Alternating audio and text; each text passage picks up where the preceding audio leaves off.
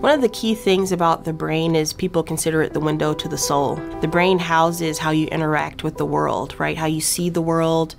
When I see patients with newly diagnosed brain tumors, they're at a very vulnerable position in their lives, right?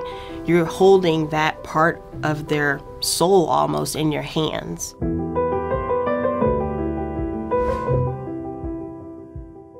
Good to see you. Okay. Sorry, my hands are cold. yes, yes.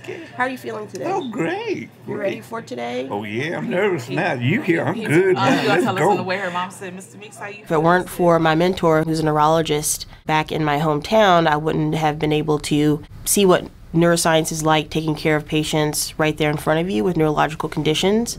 And I think for me, being able to see people out there doing the work and taking care of patients with those type of diseases made it possible for me to continue in those footsteps.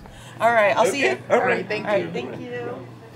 And I tell patients, you know, when they come in, their eyes get wide open because they see, first of all, this huge, big white room with all this stuff, and they see so many people in the room. It can be extremely overwhelming. You have to warn them beforehand that there are a lot of people involved in your care so that we can do the best thing for you, right?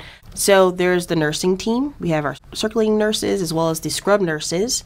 I have a resident. Sometimes I have one or two residents with me to assist me with the surgery. Our anesthesia team, obviously, as well. We have our stereotactic team, so they actually help us load the scan onto the system so that we can actually target exactly where we need to go. My subspecialty is focused on neurosurgical oncology, and as a fellowship trained neurosurgical oncologist, I take care of patients with brain tumors, and this includes benign brain tumors like uh, meningiomas, also malignant brain tumors, so brain metastases, so cancer that started from the lung, the breast, etc., that traveled to the brain, also primary brain tumors like glioblastoma. All right, so what we're gonna do, we're gonna make sure there aren't any major vessels on the surface. Usually, when a brain tumor is found, particularly if it's a cancerous or malignant subtype, you have about one to two weeks to get that patient on the surgery schedule in order to expedite their care. Many times they're under general anesthesia, but sometimes they're under awake surgeries, which I also perform. And then what we do is we use their MRI that they obtained. We load it into the system in surgery for GPS to the brain to actually figure out exactly where we need to make our incision. We clean and prep everything. We make the incision, do perform the craniotomy where we take off the bone flap, and then we open the dura, which is the covering of the brain, and we go and take out the tumor.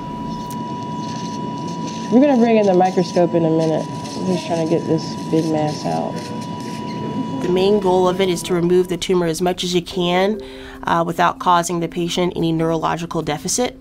And then once you've completed the surgery, you close everything back up. You put the bone back on, you close up the scalp, wake them up from anesthesia, and see how they're doing.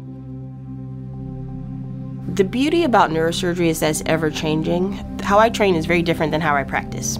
Um, for instance, uh, laser interstitial thermal therapy wasn't available until the end of my chief residency year.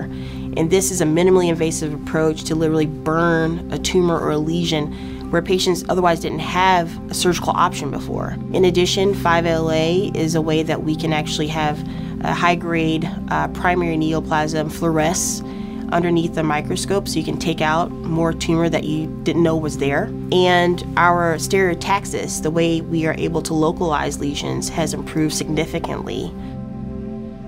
The brain is still the final frontier. Um, there are still pathways that we don't understand completely, neural circuitry that we don't understand. The connectomics is extremely complex. And I love seeing the opportunities and the things that will unfold over time. And you can see the future right in front of you.